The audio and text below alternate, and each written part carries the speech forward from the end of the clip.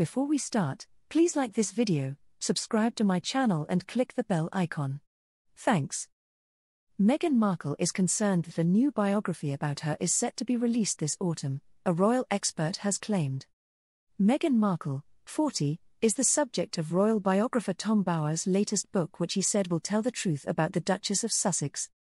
Mr. Bower told the Daily Express last year, it will tell the truth when it comes out.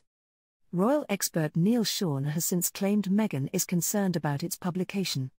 Speaking on his YouTube channel, Mr. Sean claimed, this time he's now looked into the past life of the now Meghan, Duchess of Sussex. According to very good sources, Meghan's concerned that this particular book could damage her image. Meghan is concerned by who spoke to Mr. Bower, and as her team have pointed out, how rock solid these claims are. Either way, a lot of people's money is simply on Mr. Bower's book rather than the forthcoming memoir from Prince Harry. A source told The Sun last year, this is the book Meghan will be dreading. Tom doesn't pull his punches and is terrifyingly thorough in his research. No stone will be left unturned. Tom has previously worked with some of his subjects, and even spent time trailing them, but it has been made perfectly clear to him that this will not be an option with Meghan. She wants no part of it. The Duchess recently revealed she and her husband were torn over what to call their son, an Invictus Games competitor has said. The couple named their baby boy Archie Harrison Mountbatten Windsor after he was born on May 6, 2019.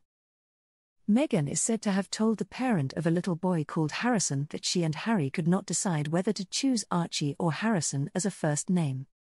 Sherry McBain, 42, who lives in Southampton, said her wife Mandy brought their little boy Harrison to a children's book reading attended by Meghan at the Games in The Hague, and the pair got chatting. Ms. McBain told the PA news agency, she was like Harrison, that's Archie's middle name, and Mandy was like, yeah, I know. They were just having a chat because Harry and Meghan couldn't decide between Archie and Harrison for the first name. Archie means genuine, bold, and brave, and is German in origin.